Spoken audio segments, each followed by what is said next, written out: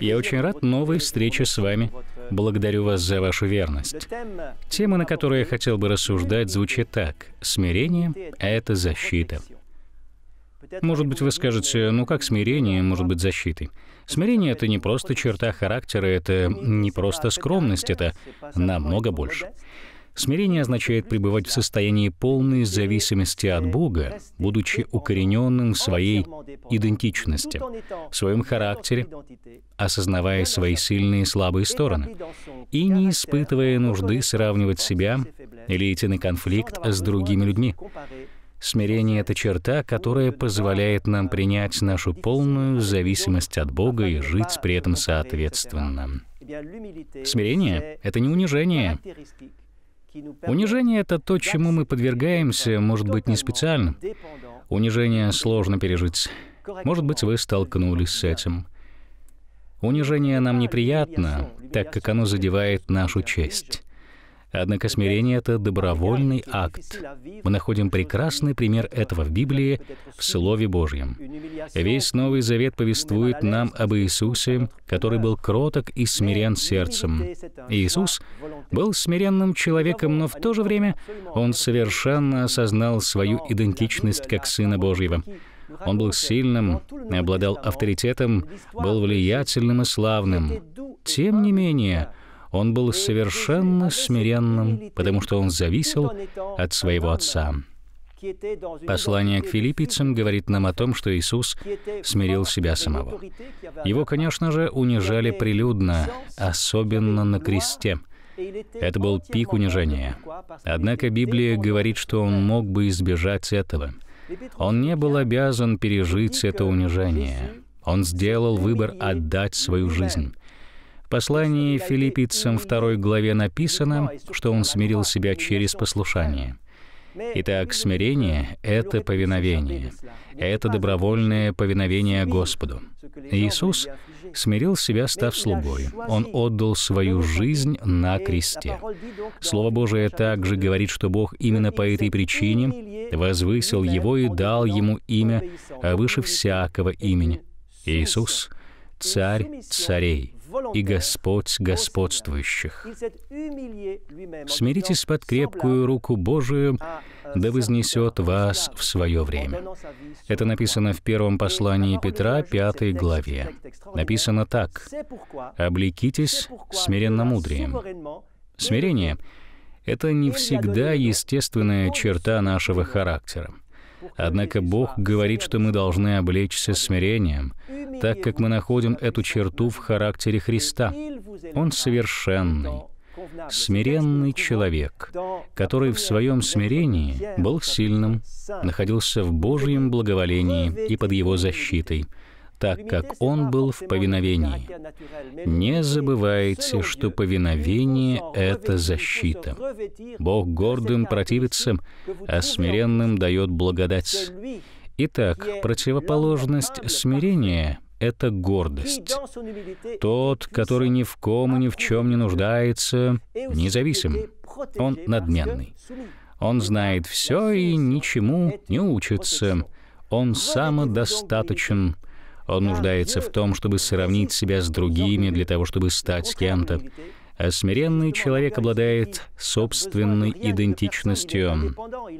Он не нуждается в сравнении, так как он знает, что Бог наблюдает за его жизнью. Он очень хорошо знает свои сильные и слабые стороны. Поэтому, живя в смирении, он испытывает внутренний мир.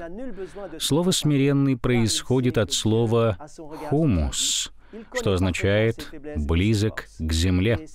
Итак, он приземленный, он не изображает из себя ничего. В слове написано «смиритесь под благую, крепкую руку Божию». Я здесь добавил слово «благую», потому что Божья рука благая.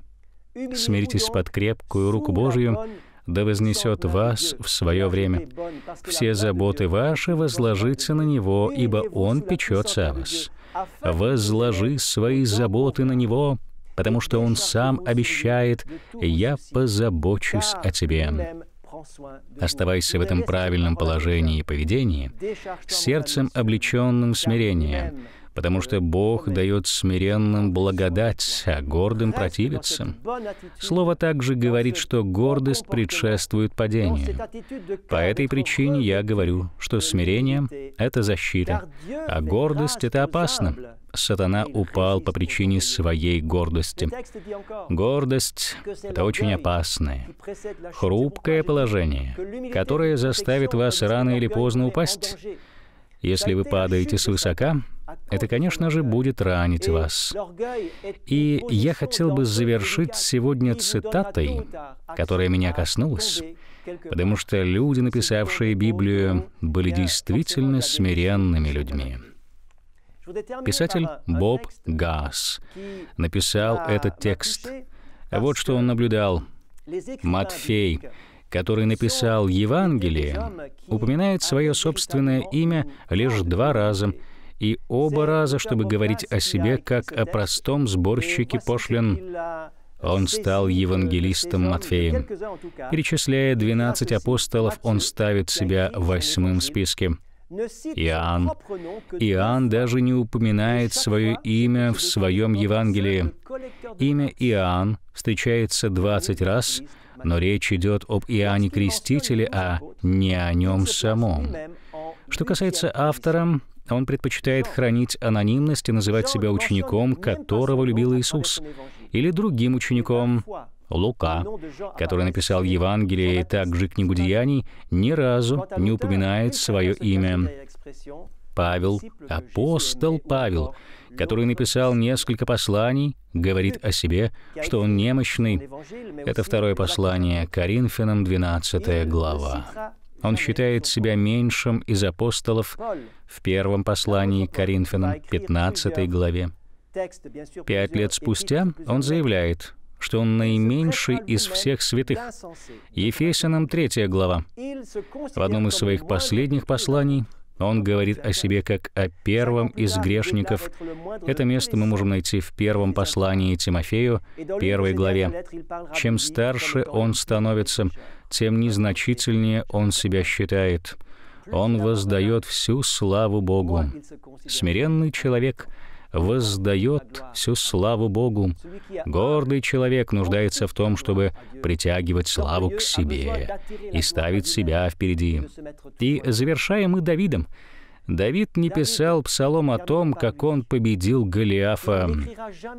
Однако он написал впечатляющий псалом о том, что произошло в момент слабости. Этот текст повествует о том, что произошло тогда, когда он совершил прелюбодеяние с Версавией и убил ее мужа. Это 50-й псалом, один из самых мощных псалмов, который говорит о смирении, о способности признать свою неправоту и покаяться. Гордый человек не признает свою неправоту. Смиренный человек признает свою неправоту, и Бог поэтому дает ему благодать. Если вы смиренны, вы получите Божью благодать. Если вы горды, Бог будет противиться вам. Итак, не забудьте нашу тему. Смирение — это защита для нашей жизни. Пусть Бог благословит вас. Облекитесь этой замечательной чертой, которая была центральной в жизни Иисуса. Будьте подобны Ему. Ходите в благословении благодаря вашему смирению. И еще раз говорю, что смирение — это защита благословения вам.